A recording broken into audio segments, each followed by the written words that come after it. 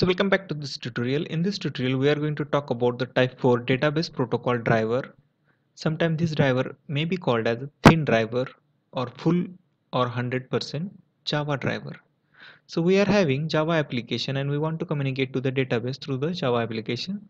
So we have written some application code and through the JDBC API call and type 4 database protocol driver we establish the communication to the database so we have, you might have observed over here there is no intermediate between your type 4 database protocol driver and your database servers.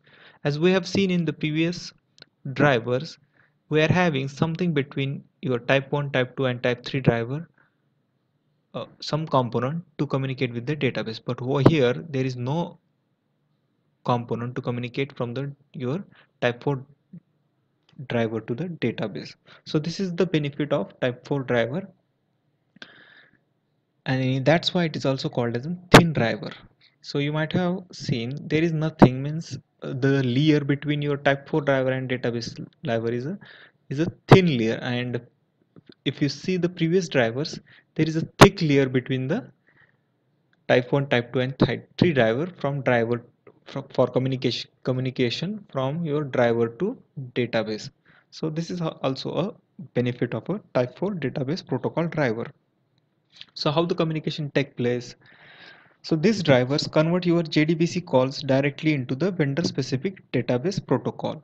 That's why it is called as a database protocol driver.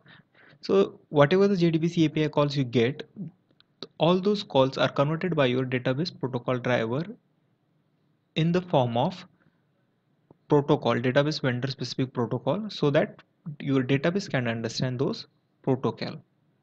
Sometimes it is also uh, also called as like an uh, this driver is direct to database pure java direct uh, pure java driver.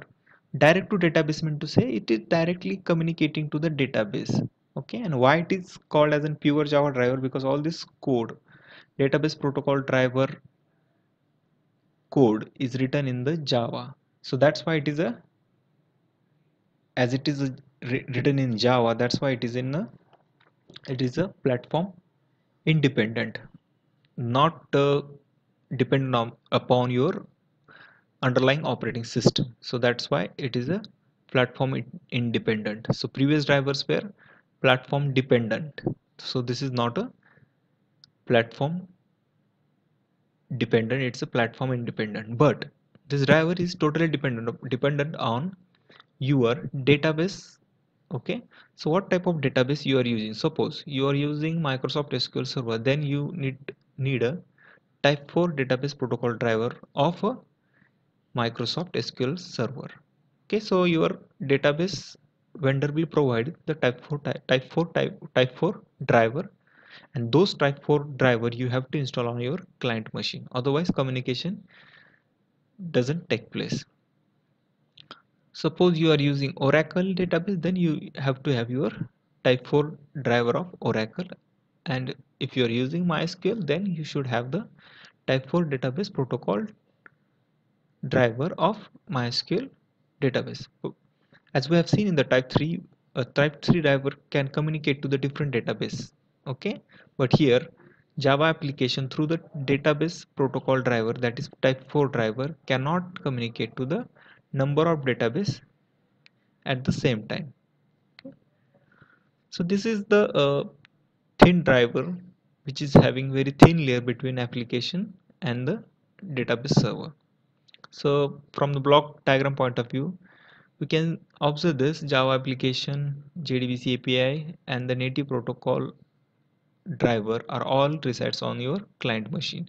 Your native protocol driver need to be installed as per your underlying database. So this uh, communication is direct call using specific database protocol okay? So we'll try to understand some advantages and disadvantages of type 4 driver. Better performance than the all other driver. Because of the overhead less overhead because we have seen in the type 1 driver we required ODBC drivers and dat database vendor libraries also. So that that overhead is not in the type 4 driver. If you think about the type 2 driver there also we required database vendor libraries. And even in the type 3 driver middleware is there. That's why communication time is more. So as compared to the all these three types of driver type 4 driver is more better perform having the better performance. And next advantage is no software is required at a client side or server side. Okay. So no requirement of third database vendor dependent software and all that. So database vendor library is required in type 1 type 2 and even type 3 also but over here we don't require any type of software. Only just driver is sufficient to communicate with the database. So this is also a benefit of a type 4 if you talk about the type 4 uh, driver so only one disadvantage is over here. Drivers depends on the database. So whatever driver is there in your client machine that kind of database you have to communicate. Otherwise communication cannot be take place. So only one driver at a time you could have and you could establish the communication between them okay? So you have to have the database dependent driver. It's not like your java software is going to provide your type 4 driver. Type 4 drivers are provided by your database vendor. If you're using sql server then microsoft provide you type 4 driver. If you're using mysql then mysql provide you a mysql type 4 driver. If you're using oracle then oracle will provide your type 4 driver for your application